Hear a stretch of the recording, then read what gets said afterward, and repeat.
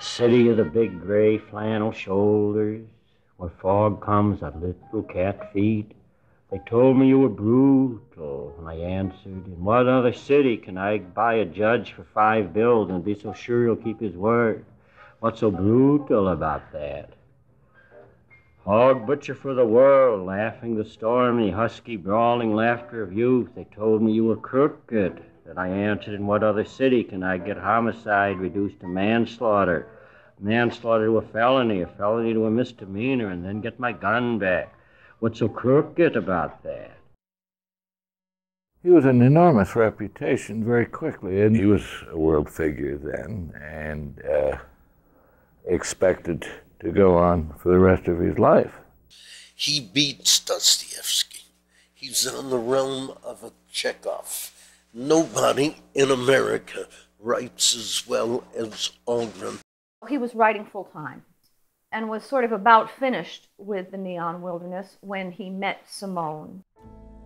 He meets her and he takes her around. He shows her his version of Chicago. He takes her to lineups and in, in, in seedy places. And uh, she's much moved by it. And they go to his apartment and they become lovers. Around 1950 51, he writes Simone that he, he finds the intellectual climate increasingly stifling. I don't think that the public consciousness of the surveillance, the first place, the surveillance wasn't as technically as broad or as Yeah, technically for as sure. accurate as now. And but moreover, uh, people, I don't think the generation that was so distant in the 30s, I don't believe they got scared until the 50s when people were actually put in jail and people lost their passports and people were punished. From that time on, uh, I think a great uh, dent was made in uh, the inclination of people to speak out. You can get caught later, and people just uh, dummy up.